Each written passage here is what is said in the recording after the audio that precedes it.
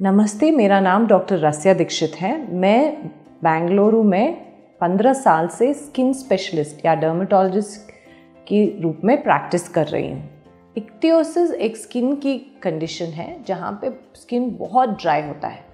ये usually genetic होता है। माने हमारे फादर को या मदर को या हमारे फैमिली में किसी को ऐसे सीवियर ड्राई स्किन होते हैं, जिसके वजह से हमें भी ड्राई स्किन होते हैं।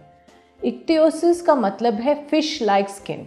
इस बीमारी में स्किन जो है इतना ड्राई होता है तो चमड़ा फ़िश के चमड़े जैसा दिखने लगता है।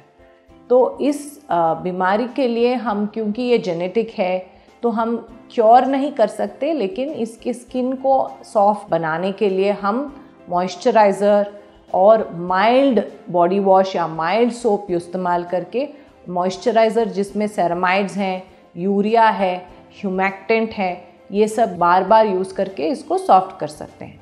अगर कोई इंपॉर्टेंट फ़ंक्शन है तो सैलिसिलिक एसिड या लैक्टिक एसिड केमिकल पील करके स्किन को और सॉफ्ट कर सकते हैं। वाइटामस में सेरामाइड्स और ओमेगा थ्री फैटी एसिड खाने से और डाइट में वॉलनट आलमंड फ़िश खाने से ये स्किन जो है और थोड़ा सॉफ्ट दिखता है।